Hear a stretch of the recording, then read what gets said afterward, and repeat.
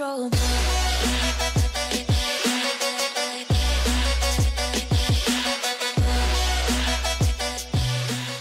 What is going on you quality lot? Quality XA here today and today I'm pretty much just bringing you guys a brand new video on Destiny and today I am showing you guys how to get splicer keys as well as splicer relay keys. Now if you guys didn't know splicer keys actually open a lot of areas in the patrol zone in the new Plaguelands area and basically what they do is allow you to get treasures as well as other goods such as SIVA clusters which is in one of the rooms.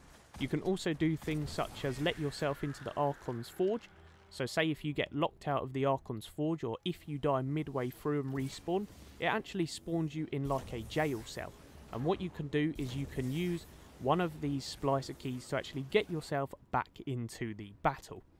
And yeah, that is pretty much what splicer keys are for. You've also got the splicer relay key, which can start the exotic Khvostov quest. Now if you guys don't know how to do that, I'm pretty sure there are some videos and I'm basically making one of them videos at the moment so be sure to check that out. And now let's get into actually how to get these keys.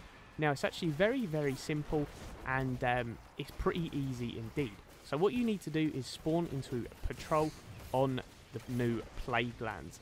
and basically you need to kill these new wizards slash witches called the Brood Mothers.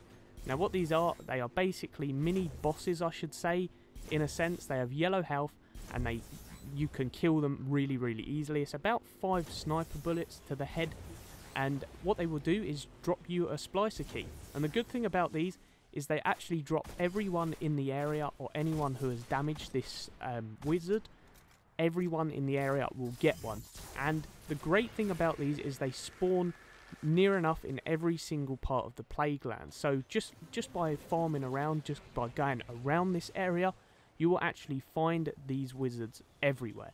So it's an awesome way to get these dropped for you and also a very very good way to help yourself get into the Archon's Forge as well as some, find some treasure. And yeah, that's pretty much how to get these splicer keys guys. And as always, I do hope you did enjoy. If you did, don't forget to leave a thumbs up on this video as well as subscribing if you guys are new around here. I post daily Destiny videos and I'm trying to reach 10,000 subscribers, so if you guys could subscribe it would be much appreciated. As always, I hope you enjoyed. Peace out. Thank you.